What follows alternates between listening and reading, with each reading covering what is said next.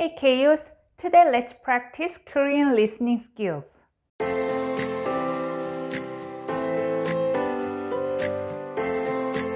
Welcome back to another video at Case.io. My name is Inyoung. Today is the time to test your Korean listening skills.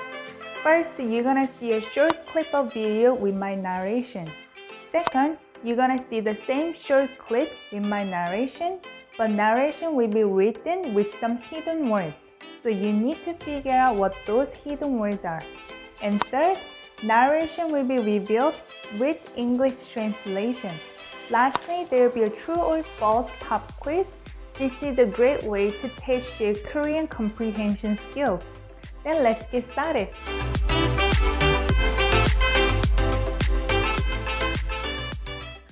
전 사진작가가 된 지 1년 됐어요. 오늘은 첫 야외 웨딩 촬영이 있어서 지금 가는 길이에요. 원래는 예약이 1시였는데 3시로 미뤄졌어요. 날씨가 좋아서 촬영이 잘 될 것 같아요.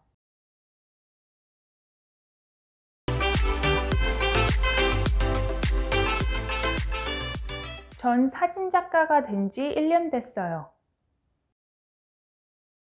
오늘은 첫 야외 웨딩 촬영이 있어서 지금 가는 길이에요. 원래는 예약이 1시였는데 3시로 미뤄졌어요. 날씨가 좋아서 촬영이 잘 될 것 같아요.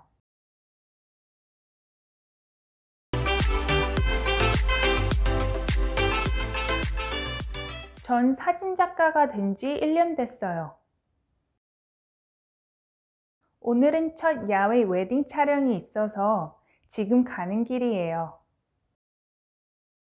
원래는 예약이 1시였는데 3시로 미뤄졌어요. 날씨가 좋아서 촬영이 잘 될 것 같아요. 1년 전에 첫 촬영을 했어요.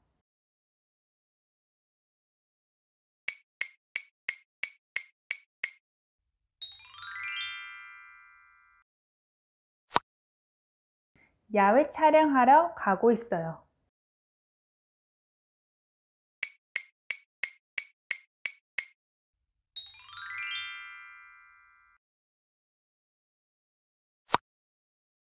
예약이 2시간 늦어졌어요.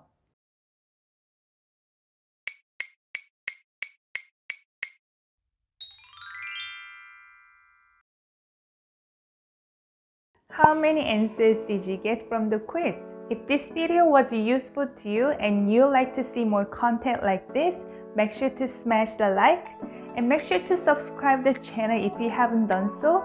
Then I see you guys next time. Bye bye.